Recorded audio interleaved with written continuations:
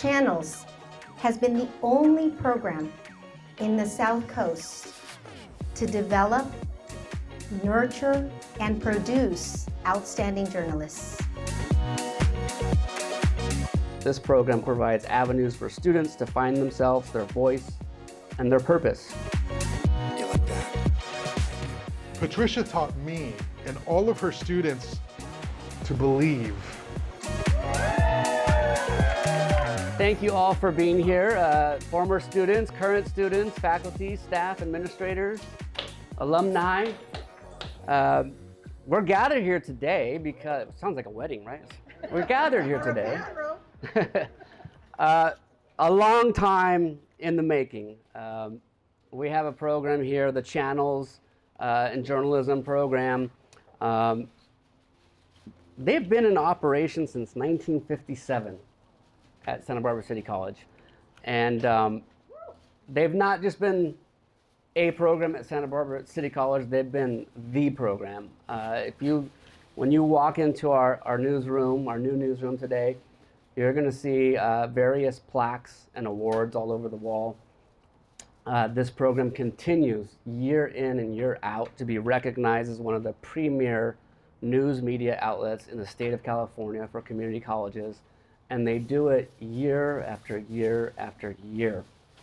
Um, since its inception in 1957, the SBCC journalism program has worked to develop a pipeline of journalists to enhance the regional media landscape. This student media outlet has also had a history of encouraging women and diverse students to take on leadership positions. In a time when almost anyone has a platform and a keyboard at their fingertips to push information out to the masses, the profession and the art form of journalism is more important now than ever. This program provides students with the tools and the skills they need to responsibly investigate, write, and produce quality news coverage. SBCC feels strongly that this program also provides avenues for students to find themselves, their voice, and their purpose. This new space that you're all about to see exemplifies SBCC's, SBCC's commitment to supporting and valuing students' freedom of press, expression, recognizing journalism's critical role in democracy and social justice, and operating with transparency.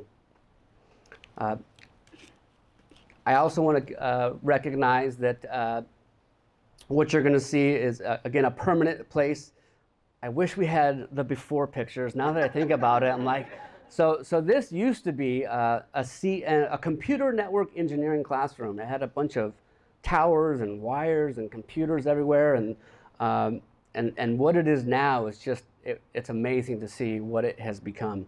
Uh, the, we were operating out of a portable building for many years. And so uh, to have a space that, is, that we can call home, that our journalism uh, students feel uh, proud about, um, is great. And, and the two people that um, are mainly responsible for how it looks and how it feels, we have our, I want to recognize our department chair of the journalism department, um, and also uh, advisor, advisor to the channels, uh, Darlene uh, Principe and our, yeah, and our journalism lab teaching assistant, John Rose. John, where are you?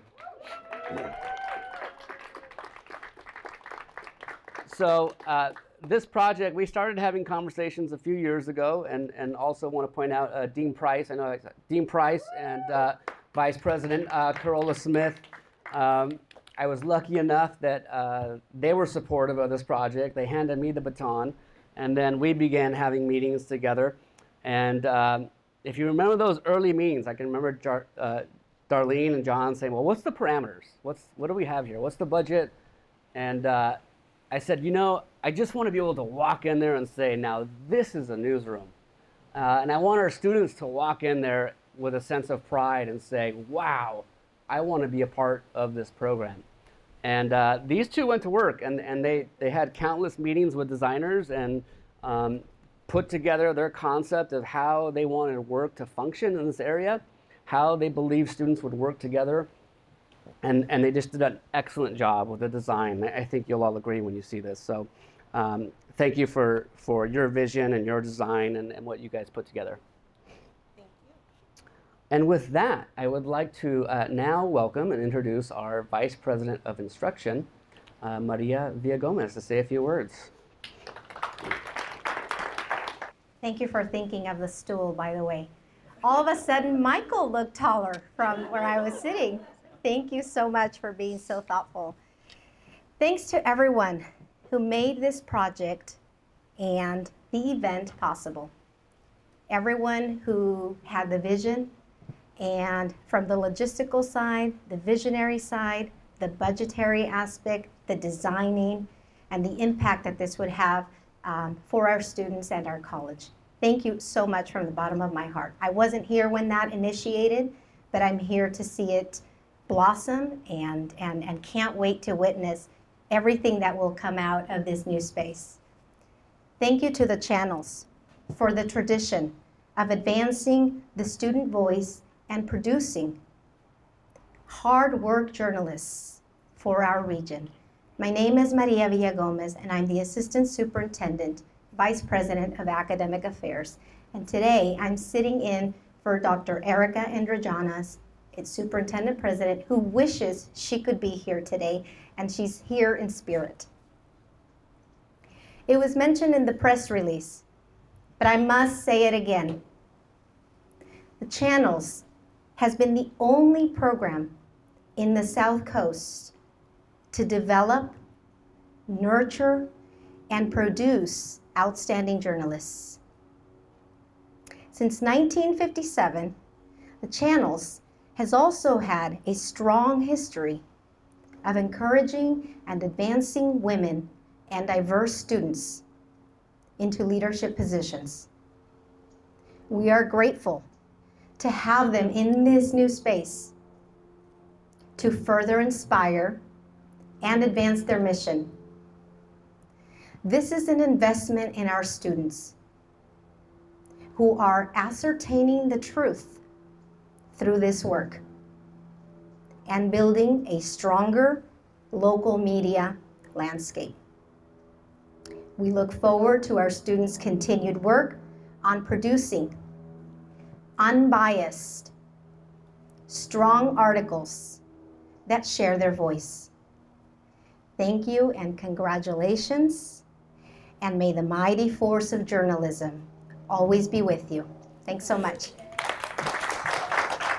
A foundation was already laid before us um, that has contributed to allowing us to be in the position that we're in.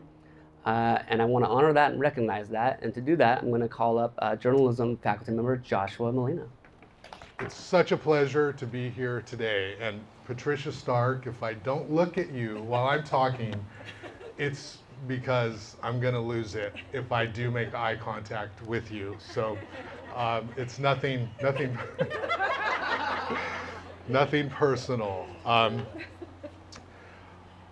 I'm going to talk about Patricia Stark uh, today. I'm going to tell you two stories about Patricia Stark she is the most influential teacher that I've ever had.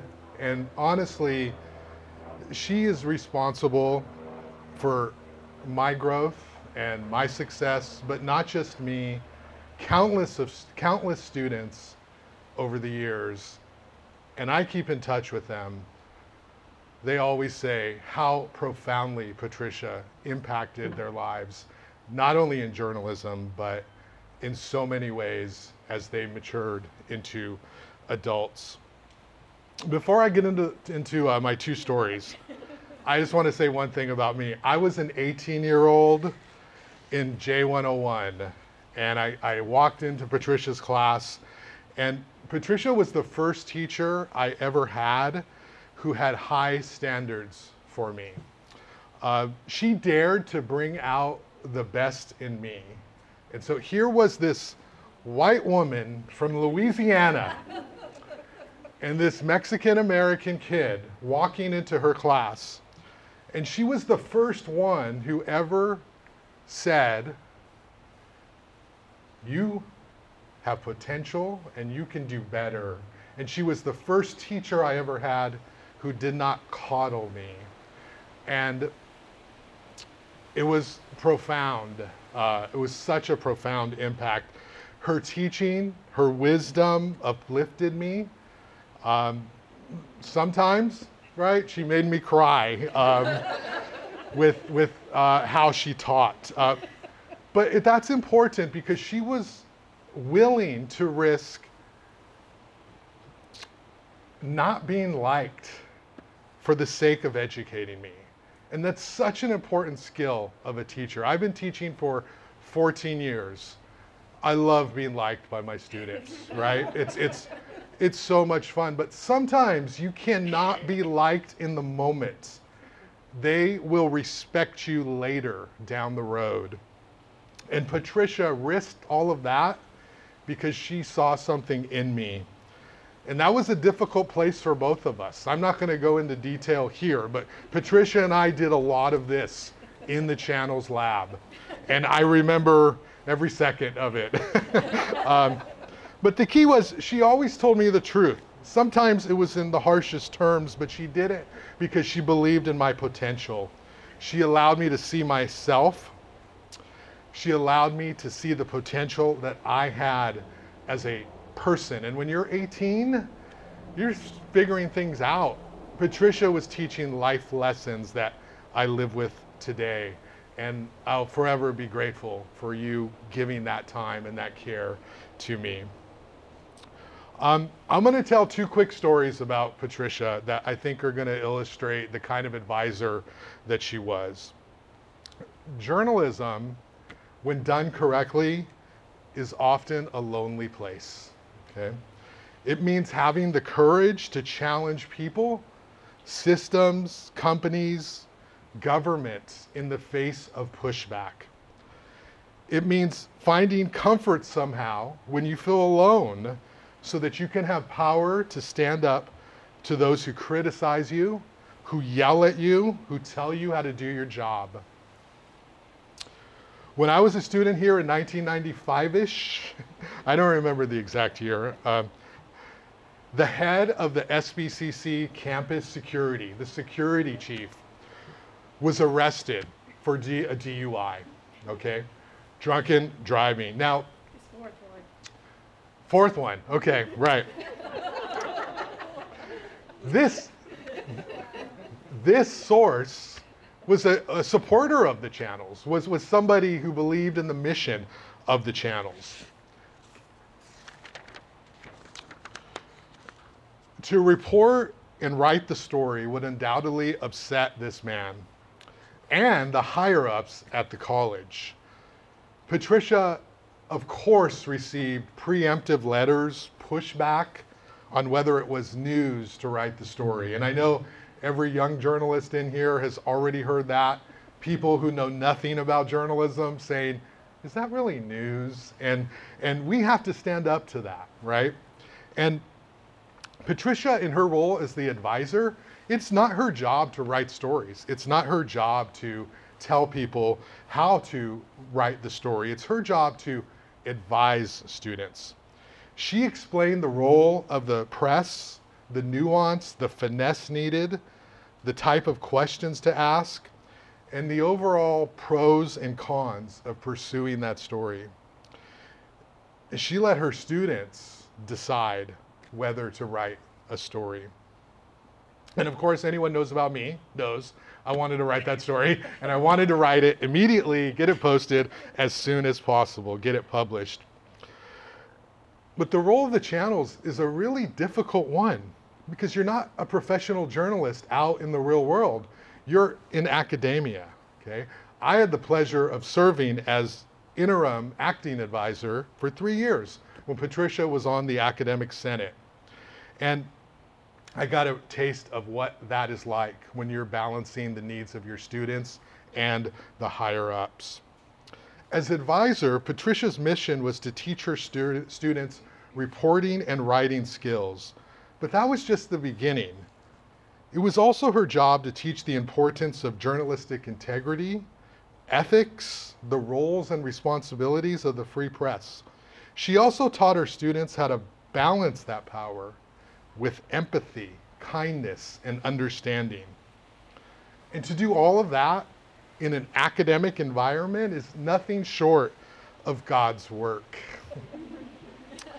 when the DUI story was spreading around campus, Patricia navigated the academic pushback from, the peer, from her peers, bosses, professional colleagues, while simultaneously allowing student reporters and student editors to do the work that she taught us to do.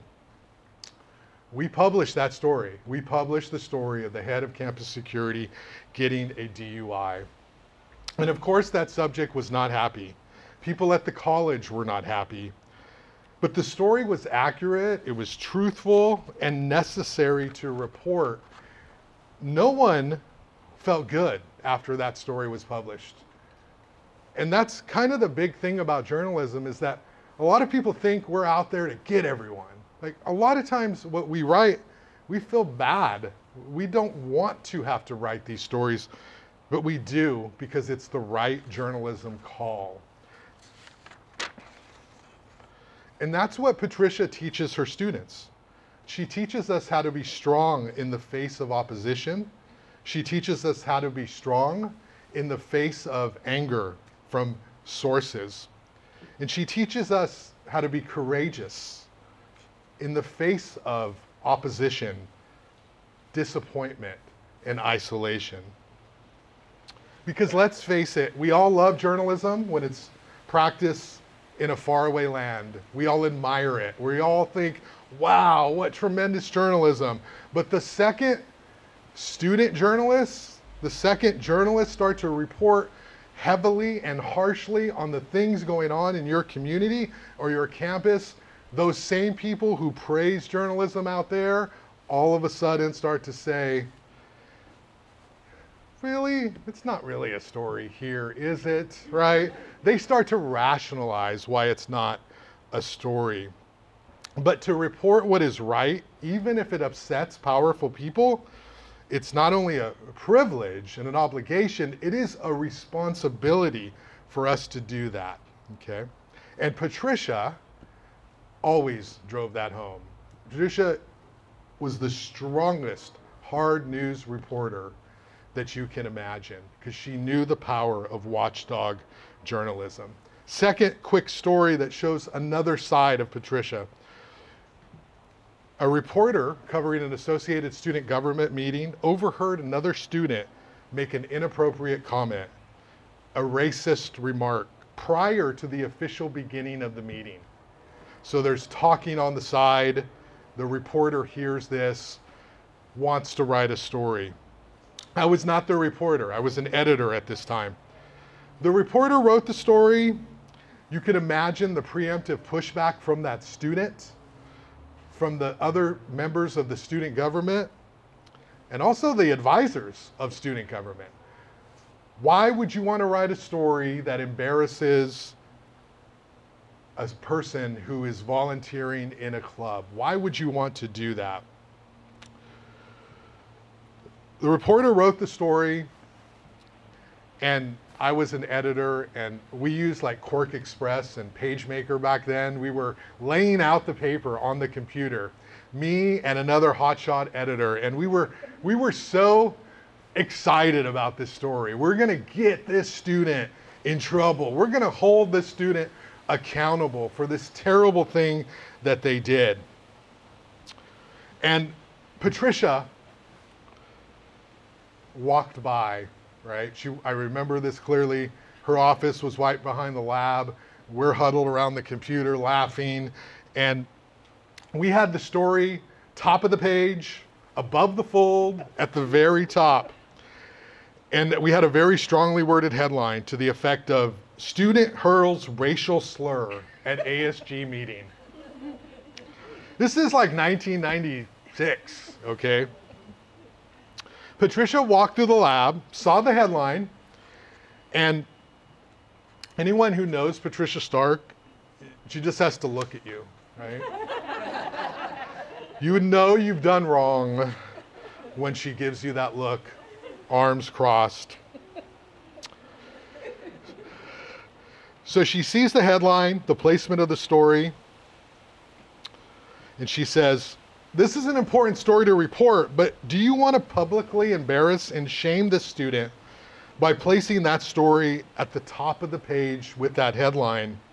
Have you thought about the impact of that placement?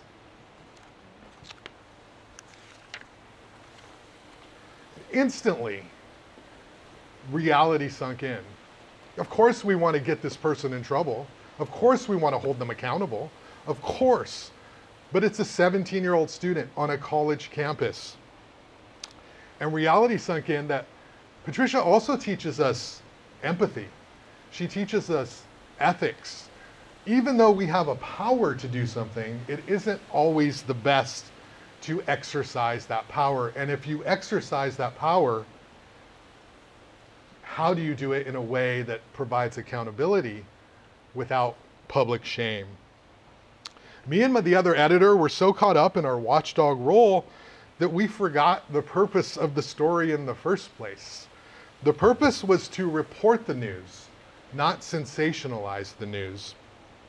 And Patricia told us all that just by giving us that look and we were reminded, we were reminded of all that she had told us before. So we moved the story to the bottom of the page and we changed the headline.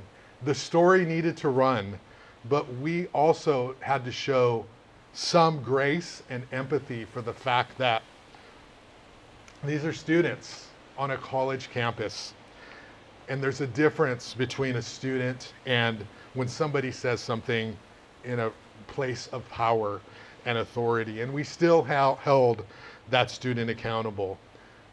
With the campus security chief getting the DUI, Patricia knew how to empower us and amp us up to provide the courage to do that story. And in this story, she knew how to tamp us down so that we could write that story with the right tone. And Patricia taught all of her students these skills all the time, every day in her lab. I stayed for three and a half years on the channels. I have never had a better teacher ever than Patricia Stark. I'm the first person to go to college in my family, the first person to graduate from college in my family. It took me a long time to graduate, and it's all because Patricia did not see me as just another student in her class for her to teach to get a paycheck. She said, I think I can help this student. And she did profoundly because I'm still talking about her today to anyone who will listen. In wrapping up, Patricia taught us that journalism is about being brave, it's about being strong, it's about showing empathy, it's about trusting in yourself and your work, even when you feel all alone, when you feel shunned, and when you feel people are telling you that you're doing something wrong. Patricia taught all of her students to remain courageous no matter the pushback, the setback, or the opposition. Most importantly, above all else, Patricia taught me and all of her students to believe in ourselves. And that's the greatest gift, and that's bigger than journalism itself, that a teacher can give a student, because that's a gift that at 50 years old, still trying to climb a mountain every day, hearing you tell me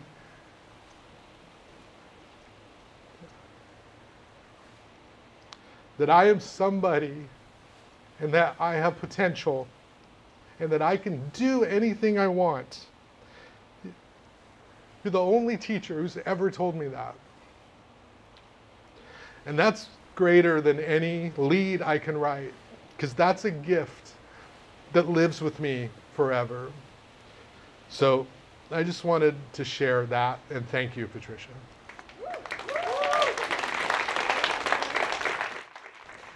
Um, thank you. That was just lovely. Where's Josh? um, so I used to describe, I think you can tell from what Josh just said, the nature of the job.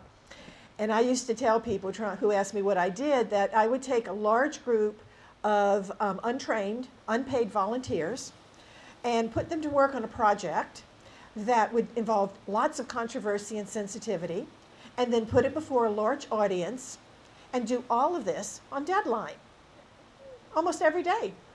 Um, so it was a job that was equally um, exhausting and exhilarating. And, um, and I just, I really did love it. I was here for 30 years. But I want to say one thing and then I'll sit down because it's chilly and we've been sitting a long time. Josh talked a lot about journalism. But when I think back on my 30 years here, what really, what really resonates, what's really profound, is that every, pretty much every two years, we would have this complete turnover of the channel staff, sometimes every year. And so everything that the senior students, even those three, especially those who were here three and a half years, everything they had learned, they would go on to transfer, and that's as it should be, and we would have to start from scratch. And so at the beginning, I and John Rose and other lab teaching assistants over the years, we go, oh my gosh, we have to start over again, getting to know these people, starting to create a team, honestly creating a family, because the students were always in the newsroom. This wasn't just a normal class. And then at the end of the year, of the two years, we had to tell them goodbye. And so what resonates for me, and I'm going to try not to tear up, is how much we really were a family and how much every couple of years we would start over, make this new family, and then we would send them off in the world. And it was very meaningful to me. I remember it with great fondness. I, I remember, I, I, see some of you here, some old, old friends of, along with the new faces. And journalism was important, but journalism really just was um, sort of this foundation for some things that I think were even more important. Um, I loved Santa Barbara City College, very grateful to be here, and today was lovely. I didn't know this was going to happen. If I had, I would have um, put on something warmer and um, maybe dried my hair before I left the house. So thank you, Josh. Thank you, everyone. So we actually have an award for you.